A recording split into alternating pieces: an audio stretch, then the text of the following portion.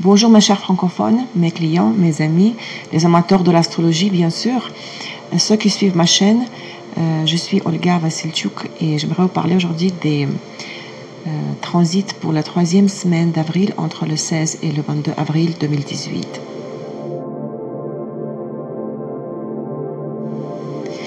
Je n'ai pas pu faire la vidéo de la semaine pour la semaine passée et c'est pour cette raison que je vais bien sûr euh, Regardez avec vous aujourd'hui la nouvelle lune qui tombe sur la fin de la semaine en cours, c'est-à-dire pour le, la nouvelle lune tombe sur le 15 ou le 16 en Europe, le 16 avril, lundi le 16 avril. Euh, mais pour commencer, j'aimerais dire euh, quelques remarques générales sur la deuxième moitié du mois. J'aimerais vous rappeler que durant la première moitié d'avril, nous avons ressenti un arrière-plan plutôt conflictuel et disharmonieux provoqué il était provoqué par la tension entre les planètes en Capricorne et en Bélier, parce que nous avons, nous avions et nous avons encore la concentration, les stelliums des planètes en Capricorne en Bélier, qui formaient entre elles, bien sûr, des carrés. Et le carré 90 degrés, c'est un aspect tendu. Dans la seconde moitié du mois, bien que l'harmonisation ne soit que partielle et temporaire, la tension quand même s'apaisera un peu. Dès le milieu du mois, la prédominance des éléments de la, terre, car Mars, Saturne, Pluton sont en Capricorne, Vénus est en taureau et le Soleil passera en taureau le 20 euh, avril.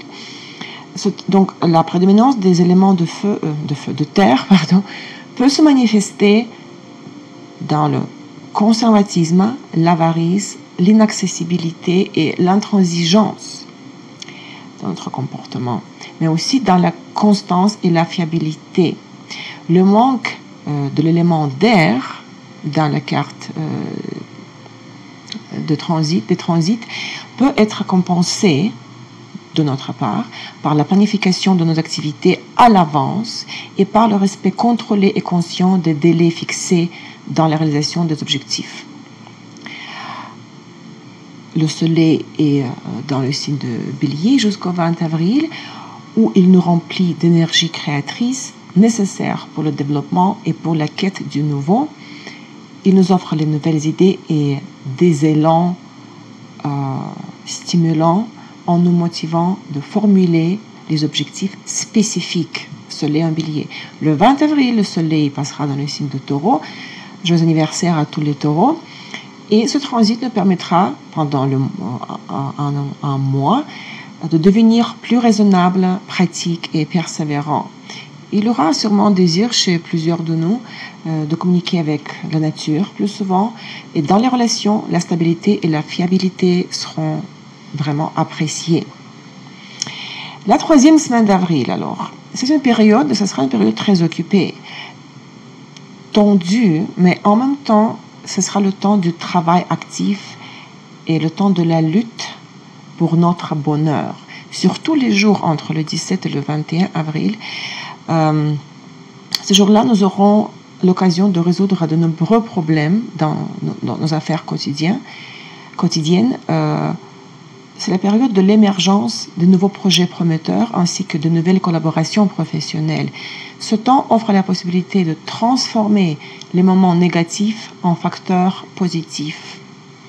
Mercure reste dans le euh, signe de bélier tout le mois parce que vous vous rappelez qu'il était rétrograde depuis trois semaines déjà. Euh, il sera bientôt direct, n'est-ce pas, dans quelques jours. Enfin, le 15, ça dépend encore de ce que vous écoutez mon vidéo. Il est, parce qu'il se balade euh, un mouvement rétrograde par le signe de bélier, donc il est en bélier tout le mois d'avril en donnant de l'activité, de l'impulsivité, de la ferveur à notre façon de réfléchir et de communiquer. Nous pouvons bien sûr, nous risquons de manifester la franchise, l'impatience excessive dans les échanges avec les autres, éviter l'agressivité excessive et les réactions spontanées dans la communication, accorder plus d'attention à la position de l'interlocuteur.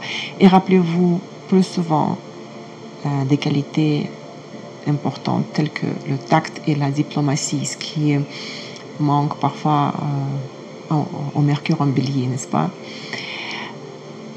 Également, euh, pour la raison que je viens d'expliquer, donc, parce que Mercure était rétrograde, la moitié du mois d'avril, il, il, forme le carré 90 degrés avec Saturne.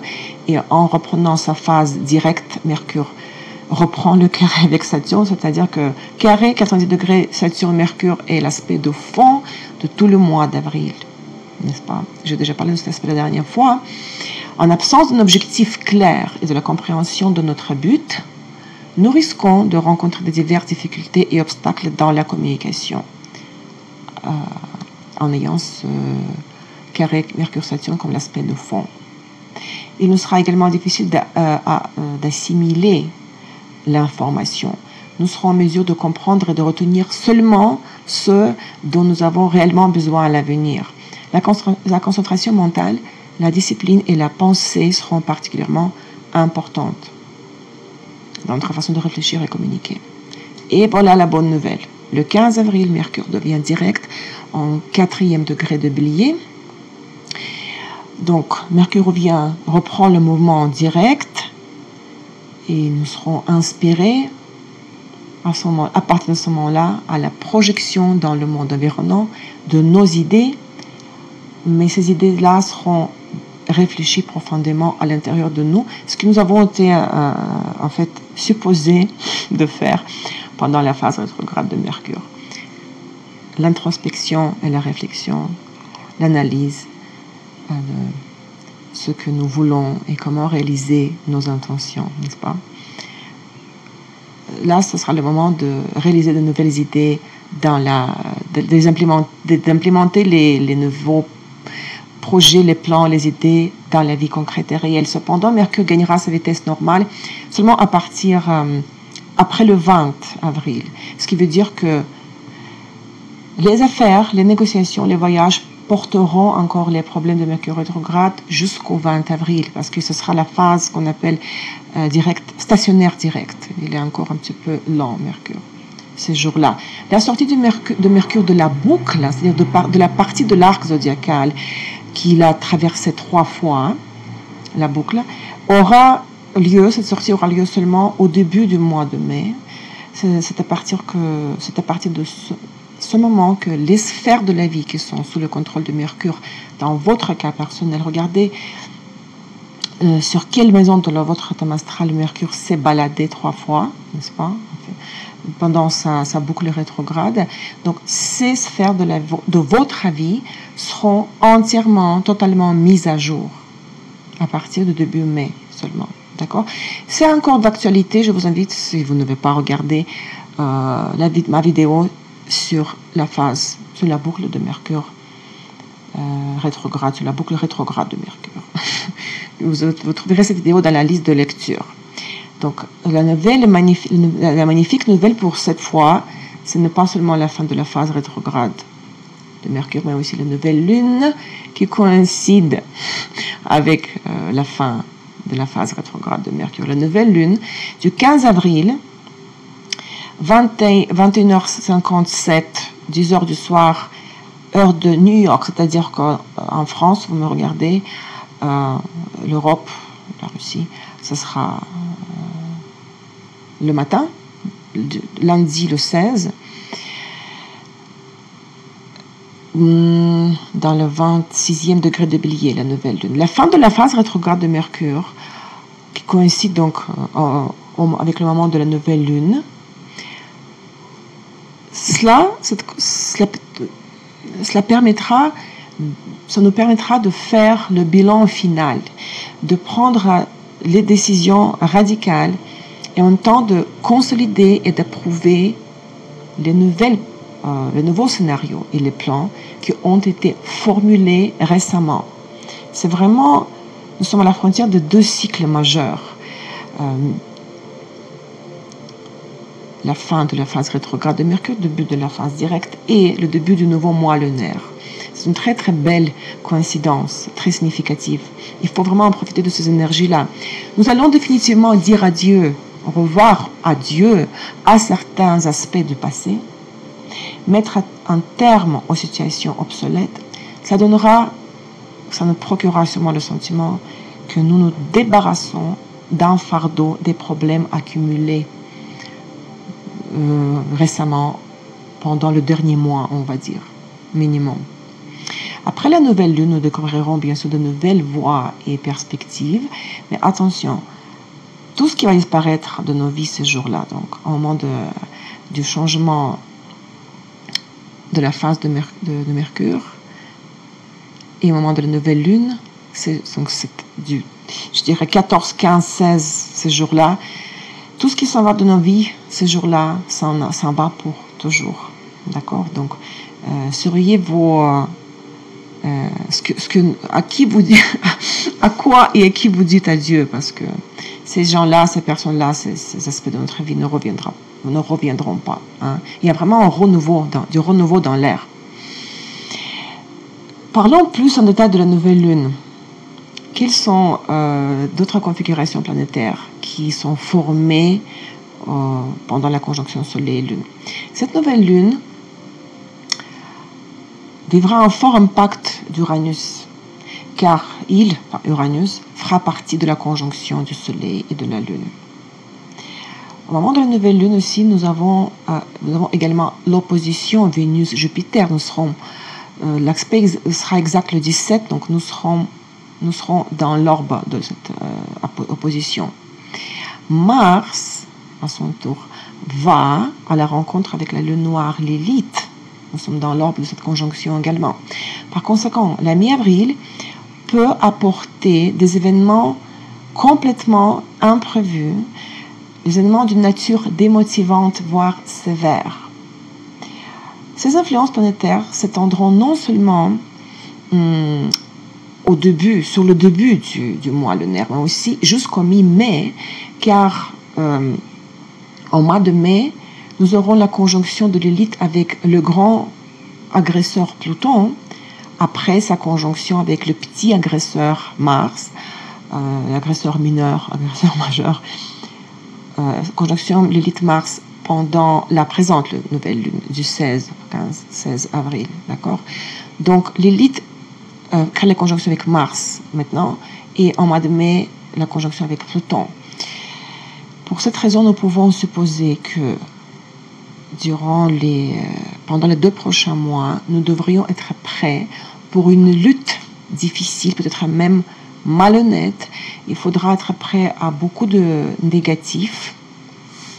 Je ne veux pas exagérer, mais c'est vraiment l'interprétation euh, de la conjonction des planètes avec la lune noire, l'élite, le point fictif. Nous pouvons devenir victimes euh, des rumeurs des, des, potins. Hmm. Mais si on revient à la nouvelle lune du 16 avril, les jours entre le 13 et le 18, hum, ce sera le temps, ce sera le moment très intense. Ce seront les jours les plus intenses, apportant par exemple l'annulation des projets, des surprises, l'agression ouverte et intransigeante de notre part et de la part des autres personnes envers nous. Hein. Mais, hum, ouais. Bah, c'est comme ça. Euh, encore une fois, les transits personnels sont beaucoup plus importants. Regardez si ces conjonctions que j'ai mentionnées euh, touchent votre, euh, vos planètes dans votre thème astral, d'accord le, 16, le 17 avril, j'ai mentionné cet aspect-là, le 7, 17 avril, Vénus est en opposition avec Jupiter nous sommes dans l'ordre de cet aspect deux, trois jours avant et après. L'aspect stimule la fascination excessive pour les joies de la vie, pour les plaisirs. Euh, pour, il peut avoir euh, des dépenses surestimées, l'extravagance dans le comportement et dans le, notre, euh, dans nos rapports avec l'argent. La modération en matière financière est très importante ce jour-là, bien sûr. Il aura une tendance à se livrer à la consommation des sucreries, donc dont la conséquence serait le gain de poids. Attention. Dans les relations, cet aspect peut conduire à des querelles et à des conflits causés par euh, l'estime de soi blessée ou par la euh, mésentente sur les questions financières, sur les finances, questions des finances communes du couple. Le même jour, Vénus est en trigone avec Pluton 120 degrés, aussi plus ou moins trois jours. Euh, c'est le temps de la durée euh, de l'orbe, d'accord, de, l'aspect. Trigone Vénus-Pluton renforce la passion, le désir de posséder, les besoins sexuels et la profondeur des sentiments. Il est plus facile pour nous, durant ce transit, d'éliminer les barrières psychologiques. Les relations amoureuses peuvent entrer dans la phase d'intimité. Dans les activités créatives, c'est le temps du travail inspirant et fructueux. Un autre aspect de la semaine, très intéressant que moi, j'attends personnellement. Le 18 avril, le Soleil, qui est encore en bélier, sera en conjonction avec Uranus. Donc entre 20 et 26 avril, euh, nous, nous, ressentirons son impact. La, conjonction Soleil-Uranus nous, nous incitera à introduire la nouveauté dans les affaires concrètes de tous les jours et à construire la relation sur l'imprincipe de la fraternité et de l'égalité, parce que Uranus, c'est la planète maître de Verseau, qui lutte toujours pour l'égalité, fraternité, liberté, n'est-ce pas? Euh, Donc ce jour-là, ce sera une période euh, des troubles, hein, des tournants inattendus, quand les choses vont à l'encontre de nos plans et de nos attentes.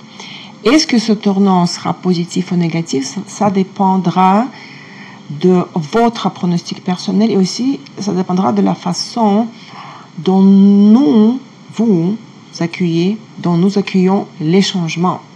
Hein. Ceux qui ont beaucoup de euh, planètes, par exemple en, en, verso, ou la maison 11, qui est remplie par, par les planètes, euh, nous serons... Euh, non, parce que je parle de moi. ces gens-là se sentiront très confortables sont très confortables. Mais si vous avez beaucoup d'éléments de terre, d'eau dans votre thème, euh, cette révolution apportée par la conjonction Soleil-Uranus vous euh, déstabilisera sûrement.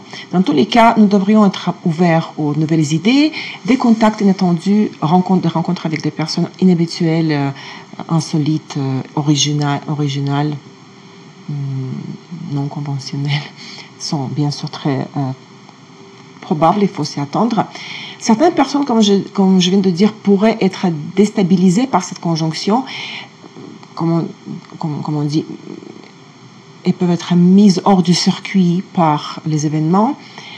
Et puisque cet aspect, cette conjonction n'a pas d'aspect, d'autres aspects harmonieux, d'aspect comme sextile ou trigone avec d'autres planètes, à ce moment-là, certains individus, des personnages euh, anarchiques, peuvent montrer des initiatives inacceptables, voire choquantes, euh, des initiatives qui paraissent choquantes, euh, inacceptables aux autres personnes, aux, à la société. Hein la croissance de l'extrémisme, les actes terroristes sont aussi possibles, le taux d'accident augmente. Donc attention avec Uranus. Si vous, vous devez, si vous êtes pas, si l'énergie de Verseau vous êtes, ne, vous êtes pas, ne vous est pas familière, étrangère, je dirais rester, non, je vais pas dire rester, rester chez vous, mais quand même, hmm, soyez juste prêts à des surprises.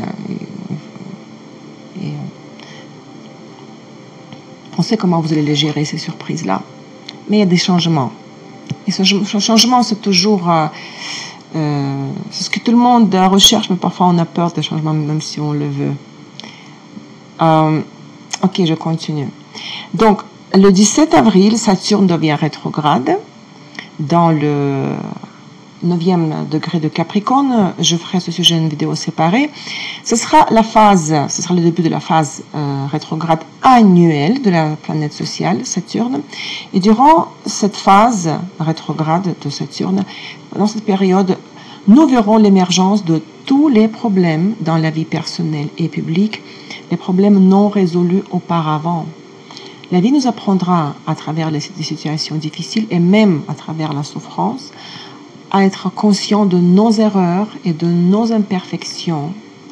Et la vie nous apprendra à surmonter les difficultés qu'ils ont causées, eux, ils, pluriel, les imperfections et les erreurs. Euh, comme on dit, nous récolterons ce que nous avons semé. Pendant cette période, il est important de, que chaque personne essaie de rendre toutes les dettes accumulées plus tôt, surtout au cours de la dernière année, euh, rendre les dettes dans le sens propre et figuré du terme. Mais encore une fois, euh, je parlerai de ça dans la vidéo séparée de, de, de Saturne rétrograde. La même semaine, donc le 22 avril, Pluton, notre planète sociale, devient rétrograde aussi dans le 21, 20, 21e, je crois, 21e, 21, 21e degré de Capricorne. Euh, aussi, j'aimerais, je, je, compte préparer une vidéo sur euh, Pluton rétrograde. Euh, Pluton, comme Saturne, commencera ce moment rétrograde annuel, ce qui transformera l'identité profonde des gens, de notre identité profonde, en nous mettant en face des imperfections du passé et en nous faisant prendre conscience des côtés les plus sombres de nos personnalités et en nous faisant les éradiquer, puisque c'est le but final du travail de Pluton, surtout de Pluton rétrograde? Donc ça, c'était juste euh, deux, trois phrases avant la vidéo plus détaillée sur euh, ce sujet. Mars en Capricorne et euh, tout au long du mois d'avril favorisera les activités énergiques et actives, car l'énergie, la position de Mars en Capricorne, c'est une position très forte, est dans la signe de sa gouvernance. L'énergie du Capricorne aide à atteindre des résultats pratiques et concrets, d'accord? Et j'aimerais juste rappeler que hum, Jupiter est rétrograde toute la, toute la semaine, ben, encore plusieurs mois. Jupiter dans sa phase rétrograde, euh, ce qui peut quelque ce qui peut quelque peu, ce qui ralentit quelque peu les processus de croissance significative sociale et le développement spirituel en dirigeant notre conscience à la recherche des opportunités de cette croissance dans le monde intérieur. L'impact des phases rétrogrades des planètes lentes, euh, les planètes, des planètes sociales, n'est pas aussi fort, n'est pas aussi remarqué et ressenti et visible hein, que celui des planètes personnelles, euh, Mercure, Vénus, Mars. Mais néanmoins, dans la phase, euh, dans la période de Jupiter euh, rétrograde, il ne faut pas trop s'attendre au changement dans la carrière ou du statut social. mais les gens avec Jupiter rétrograde dans leur thème astral, au contraire, peuvent s'attendre à de nouvelles opportunités et au succès social. C'était juste un petit rappel. Mes amis, c'est tout. Et ce n'est pas tout. Juste la dernière remarque, je l'ai déjà formulée, prononcée la dernière fois dans la vidéo précédente. Euh, je ne me répète pas, je vous donne rappelle, je, vous renvoie un nouveau élément, mais je me répète en partiellement. Nous nous, nous nous, approchons progressivement au point milieu entre les éclipses d'hiver 2018 et les prochains, les futures éclipses d'été 2018. La pleine lune du 29 avril le Soleil en taureau et la Lune, en scorpion en opposition, formera un carré au point de l'éclipse lunaire du 31 janvier. Sur l'axe Lion-Verseau, Soleil en Verseau en opposition à la Lune en Lion, vous vous rappelez. Et bien sûr, cette pleine lune du 29 avril formera le carré au point de l'éclipse lunaire de l'été 2018. La nouvelle lune en taureau, dans, deux semaines après, le 15 mai, formera un carré au point de l'éclipse solaire en verso, la conjonction soleil-lune euh, du 15 février. Vous vous rappelez de cela aussi. Et bien sûr, en même temps, ce sera le carré au point de l'éclipse solaire en Lyon en août 2018. Donc ces deux semaines entre le 29 avril et le 15 février euh, ce sera la période, le point milieu des éclipses, période conflictuelle, la période de transition du travail sur le thème des éclipses d'hiver au thème des futures éclipses d'été. Pourquoi je parle de cela? Le 1er avril, je l'ai dit dans la, dernière vidéo, le Soleil en, transit a formé le sextile 60 degrés au point de l'éclipse lunaire du 31 janvier et le 16 avril. Le 16 avril, c'est-à-dire au moment de la nouvelle lune et au moment de la reprise de Mercure de sa phase directe, le Soleil en transit sera en sextile au point de l'éclipse solaire du 15 février. Il est logique que ce sera en même temps le trigone envers le point de l'éclipse solaire en Lion de l'été future éclipse de l'été 2018. Donc ces deux semaines que nous sommes en train de vivre, et encore il nous reste quelques jours, c'est le temps, c'est une période qui nous donne la possibilité, une chance de résoudre, si ce n'est pas résoudre, mais au moins d'adoucir la situation conflictuelle et difficile qui a été provoquée par les éclipses d'hiver 2018. Hein? C'est-à-dire, euh, les situations, regardez dans quelle maison euh, de votre thème astral, les éclipses ont été projetées en, euh, hiver 2018. Donc, les situations de ces, de ces sujets, de, de ces domaines-là peuvent être euh, harmonisées encore aujourd'hui jusqu'au. C'est l'aspect exact. Le 16, le sextile sera exact. Soleil en sextile au point de l'éclipse correspond au 16. L'aspect exact, c'est le 16, mais on est toujours dans l'orbe plus ou moins deux jours. Donc, nous avons encore quelques jours, d'accord, pour euh, régler une certaine situation qui nous renvoie à l'éclipse solaire du 15 février, d'accord Il faut en profiter. Euh, mais euh, après, dans deux semaines, ce sera le point milieu, ce sera les carrés du Soleil en transit envers les points de l'éclipse. Et j'en parlerai en détail, bien sûr, dans deux semaines. Donc, c'était juste une petite remarque. J'espère que c'était pas très compliqué. Euh, mes vidéos s'adressent à ceux qui étudient l'astrologie, qui ont des, bases théoriques, voire pratiques. D'accord? Je vous souhaite à tous une très belle semaine joyeuse. Nouvelle lune. profitez de la phase du début de la phase euh, directe de Mercure, faites de nouveaux projets pour le nouveau mois lunaire. Donc, joyeuse nouvelle lune, euh, beaucoup de succès, beaucoup de bonheur, de l'amour, euh, joyeuse, oui, de la, de, de, l'humeur printanier. Et je vous parle très bientôt la semaine prochaine. Merci pour votre fidélité, votre attention. À très très bientôt. Au revoir.